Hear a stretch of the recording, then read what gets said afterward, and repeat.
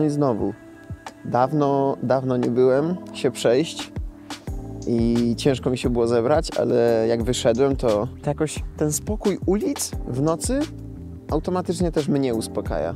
Nie, żebym był jakiś podenerwowany czy coś, tylko takie przyjemne uczucie. No ale dobra. Od jakiegoś czasu zacząłem myśleć nad jednym konkretnym takim zagadnieniem, czyli porównaniem życia do gry komputerowej. To znaczy stworzenie sobie jakiejś takiej analogii. Nie dla wszystkich to będzie pomocne, że tak powiem. Ja zauważyłem bardzo dużo podobieństw, no ale to jest dosyć oczywiste. Jak się dużo czasu spędza na pewną działkę, to potem się zauważa właśnie pewne analogie w życiu albo w ogóle w innych rzeczach. rzeczach. Zauważa się pewne schematy takie.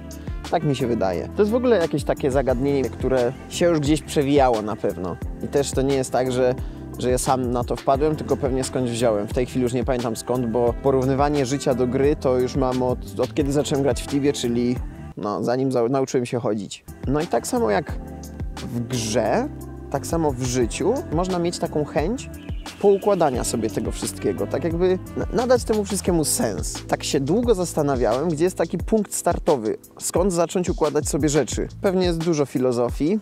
E, według mnie odpowiednim punktem wyjścia jest zadanie sobie pytania, jaki mamy cel w życiu albo w grze.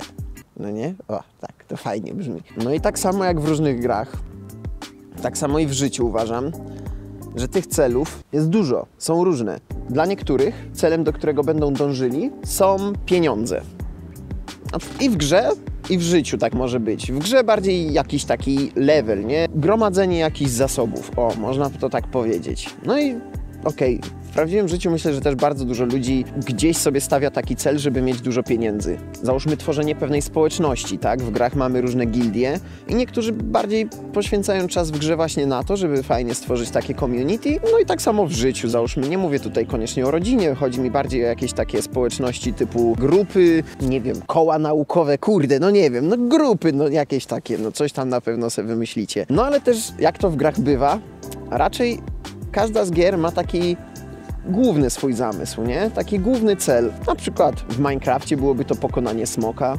No i w naszym życiu, jakby tak czysto logicznie podejść, to ja doszedłem do wniosku, że takim głównym zamierzonym celem to jest oczywiście jakby przedłużanie gatunku. Nie, nie chodzi mi o seks nie, tylko chodzi mi o taki zamysł y, przekazanie genów dalej, nauczenie młodszego pokolenia tego, co my umiemy. No, no, no, no dobra, no trochę taki wiadomo, ewolucja i, i, i, zwierzęta i tak działają. Nie wiem, dobra, nie chcę tu powiedzieć pierdoły, ale tak mi się wydaje, że tak jest. No tylko, że to jest taki zamysł, y, że tak powiem, wbudowany i oczywiście już teraz mało kto, wydaje mi się, idzie takim zewem natury.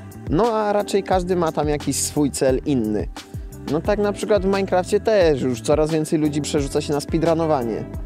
No może speedrunowanie życia to nie jest dobra analogia, bo no, no, może nie jest i tyle, kropka. No ale właśnie też tutaj pojawia się pytanie, a co jak nie wiemy, co jest naszym celem? To jest najważniejsze pytanie, jakie sobie czasami pos trzeba postawić. Właśnie, jaki mamy cel w życiu? Takim basic celem, który można przypisać każdemu, jest yy, poszukiwanie szczęścia. No tylko, że tutaj znowu jakby przechodzimy dalej, że różnym osobom różne rzeczy to szczęście dają. Z pytania, jaki mamy cel w życiu, przechodzimy na pytanie, jakie rzeczy nam dają szczęście. No i myślę, że to jest właśnie to odpowiednie pytanie, nad którym każdy powinien się zatrzymać. A ja potrzebuję trochę czasu, żeby się zastanowić, co mówić dalej, dlatego przejdę w inne miejsce.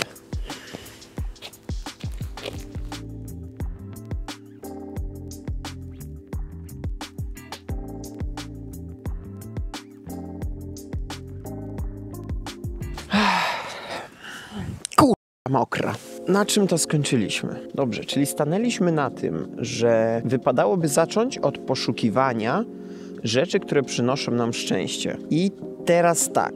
No oczywiście ja wam nie powiem, jak znaleźć te rzeczy, bo sam nie wiem. Wątpię, żeby ktokolwiek na świecie wiedział, jak to zrobić. I też wątpię, żeby to było takie jednoznaczne. Że można to tak sobie po prostu znaleźć i nagle wiesz, jaki masz cel w życiu. Bo jest kilka warunków. Tak mi się wydaje. Po pierwsze, to nie jest tak, że jedna rzecz wam to szczęście da. To może być złożoność kilku czynników. znaczy nawet kilkudziesięciu, kilkuset, nie wiem, no to, ale to nie jest tak, że to macie jeden cel i jak zaczniecie go spełniać, to będziecie szczęśliwi. Po drugie, uważam, że te cele, te rzeczy, które nam dają szczęście, mogą się zmieniać z czasem. Um, I to trzeba mieć na uwadze, mi się wydaje. Dobra, czekajcie, bo idzie ziomek, to sobie przerwę na chwilę i nic nie będę gadał. Kurwa, cringe.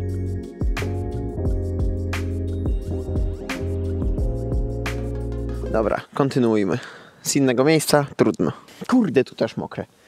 Druga rzecz to była, że te rzeczy mogą się zmieniać w czasie i to jest, to jak się pomyśli, to, to jest taka oczywistość. No dobra, no jasne, że jak byłem dzieckiem, to trochę inne miałem marzenia niż teraz, ale jakby w momencie zadawania sobie pytania, jaki mam cel w życiu i w zadawaniu sobie tego pytania na przestrzeni naszego dorastania, dojrzewania i w ogóle potem życia, nie wiem, czy to jest takie czy przynajmniej dla mnie to nie było takie oczywiste, że ten cel się zmienia, że to jest normalne, że to się może zmienić i to czasami nawet w bardzo małym okresie czasu, przez wpływ y, jakichś doświadczeń, czy nie wiem, jakichś osób, które spotkaliśmy, czy, czy może przez próby dążenia do poprzedniego celu. Dobra, bo się już za, za, już za głęboko wszedłem i się trochę sam pogubiłem. Druga rzecz, jaką trzeba mieć na uwadze, szukając swojego e, celu, czy tam rzeczy, które nam dają szczęście, nie wiem, jeszcze przydałoby się jakaś nazwa na to, to jest to, że nie wszyscy muszą mieć takie cele, jak my mamy. I wydaje mi się, że też często się o tym zapomina i przez to może dochodzić trochę do sporów głównie w rodzinie, nie? Jak rodzice próbują poprowadzić swoje dzieci przez pewną drogą, pewną ścieżką, która według nich jest odpowiednia. No i to trzeba mieć na uwadze, no, że nie wszystkim te same rzeczy, co nam, dają szczęście. Czwarta rzecz to jest taka rzecz, której nie czuję się pewnie, jak o niej mówię, to znaczy oczywistym mi się wydaje, że te cele nasze nie powinny szkodzić innym, ale nie do końca przekonuje mnie argument, że nieszkodzenie innym będzie dla nas najlepsze. To znaczy, jeżeli ktoś faktycznie czerpie szczęście z pewnych rzeczy, które mogą niektóre osoby, nie wiem, urazić czy im jakoś zaszkodzić, no to nie do końca mnie przekonuje taki argument, żeby tego nie robił, że to jest dla niego złe. Znaczy, nie wiem, czy ktoś by dawał taki argument, ale żeby nie było, ja nie jestem za tym, że jeżeli coś ci sprawia radość, to jest usprawiedliwienie, żeby szkodzić innym. No bo tak nie jest. Jakby logicznym się wydaje, że ani my nie powinniśmy szkodzić innym, ani innym inni nam i wtedy będzie to społeczeństwo jakieś takie przyjemniejsze do życia. No ale nie do końca jestem przekonany, czy faktycznie powstrzymując się od rzeczy, które... A dobra, jeszcze raz, jest skomplikowane. No dobra, no nie będę tego rozwijał jakoś specjalnie, ale po prostu nie do końca jestem przekonany, że szkodzenie innym może nie przynosić szczęścia. O, bo to raczej takie, tak, takie jest pytanie w mojej głowie się rodzi. No tu już trochę jestem zbyt mało wyedukowany, żeby to sobie ułożyć w głowie w kwestiach psychologicznych. To może to tak spróbuję podsumować, żeby bardziej zrozumieć, co sam do Was mówiłem. Szukając rzeczy, które nam przynoszą szczęście, należy mieć na uwadze po pierwsze, że to może być składowa kilku celów, kilku rzeczy, na przykład zakładanie rodziny, posiadanie przyjaciół, gromadzenie pieniędzy, to może być składowa z tych kilku czynników, bądź bycie poważanym, wniesienie czegoś dla ludzkości itd., tak itd. Tak po drugie, te cele mogą się zmieniać z biegiem czasu. Po trzecie, nie wszyscy mają takie same cele jak my, i po czwarte, warto, żeby te cele nie szkodziły innym. Raczej to jest wymagany warunek według mnie, jeżeli chcemy żyć w społeczeństwie. Żyjemy w społeczeństwie. A jak znaleźć te cele i jak znaleźć te rzeczy, które nam przynoszą szczęście, no to wydaje mi się, że to z biegiem czasu po prostu każdy trochę się uczy. Nie wiem, czy jest jakiś jeden super przepis. Ej, zrób to i to, a będziesz wiedział, co ci daje szczęście. No nie wiem, to jest taka trochę kwestia chyba prób i błędów i takiego głębszego zastanawiania się nad tym, co robimy ze swoim życiem i tak dalej. Mówię tu bardzo ogólne rzeczy i rzeczy, które są ogólnie wiadome, ale też uważam, że to jest dobry krok, żeby właśnie to szczęście znaleźć. To znaczy jakaś taka refleksja nad naszymi myślami, nad tym, co robimy, no i czasami wymienienie poglądów z kimś innym, bo to, że ja sobie porównuję życie do gry i mi to w miarę jakoś pasuje, to niekoniecznie znaczy, że to wszystko tak działa. Dlatego w sumie zapraszam Was jak zwykle, żebyście coś napisali z Waszego punktu widzenia. Dobra, lecimy dalej.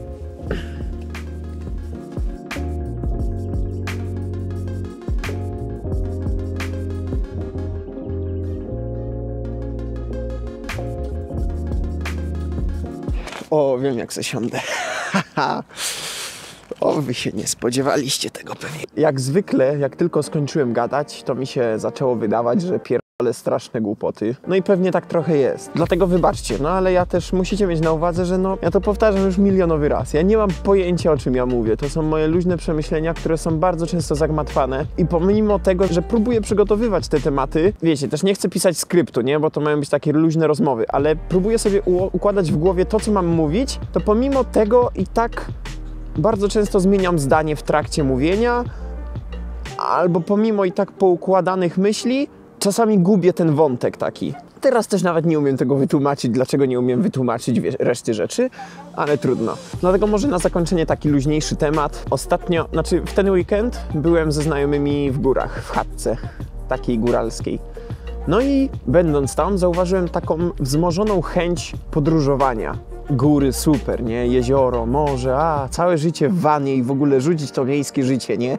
I dwa dni wystarczyły po powrocie do Krakowa, żebym już tego nie czuł. Znaczy, nie, nie, aż w takim stopniu. I tak mnie zastanawia, no bo w tej chwili tak jakby okej, okay, nie? Tutaj życie, praca, tu sobie coś nagrywam, tu sobie siedzę i gram na kompie, a w tamtej chwili byłem taki, no czułem taką chęć wolności, że tak powiem, jakkolwiek to cringe'owo nie zabrzmi. No i tak zacząłem się w sumie zastanawiać, jak wielką ilość różnych osobowości możemy posiadać, moglibyśmy posiadać. Idzie jakiś typo, a mi się już nie chce przerywać, dlatego ja biorę do ręki i pierdolę. Nie no, nie, mo nie mogę się przemóc do gadania przy ludziach. No, wracając.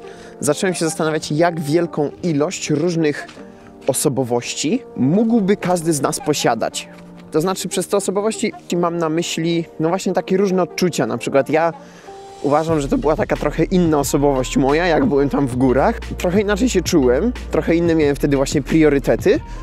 Niż teraz, jak siedzę sobie tutaj na w mieszkaniu i jest środek tygodnia. No i zastanawiam się, czy każdy z nas mógłby odnaleźć się w każdej sytuacji, czy mimo wszystko mamy jakąś tam ograniczoną liczbę właśnie takich nas, że tak powiem.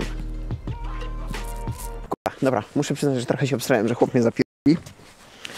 Wiecie, mimo wszystko chodzę z kamerą, więc się trochę cykam i to jest Kraków. Jak sobie tak teraz myślę, to to jest z powrotem to pytanie, czy my też bylibyśmy Hitlerem, gdybyśmy się urodzili na miejscu Hitlera? No, to trochę jest, to trochę jest podobne pytanie, ale trochę inne. No dobra. Dzisiaj, dzisiaj taki chyba zagmatwany wyszedł ten odcinek. No nic, przynajmniej sobie pogadałem z wami o tym, o czym chciałem sobie pogadać i, i co? Znowu się zgubiłem, kur. No i do następnego nocnego spaceru. Zachęcam jeszcze raz y, bardzo serdecznie do, do jakichś takich waszych spostrzeżeń w komentarzach. Jak mi się podobają, to odpisuję. Albo jak uważają, że no nie wiem, no po, to, no, po prostu zachęcam. Także to. Już mi się język plącze, bo jest zimno. Dykcja. Dobra, koniec. Tu znowu też syndrom nieumiejętności skończenia filmiku ani, albo streama. Odkrywam to u siebie. Także ten. Cze.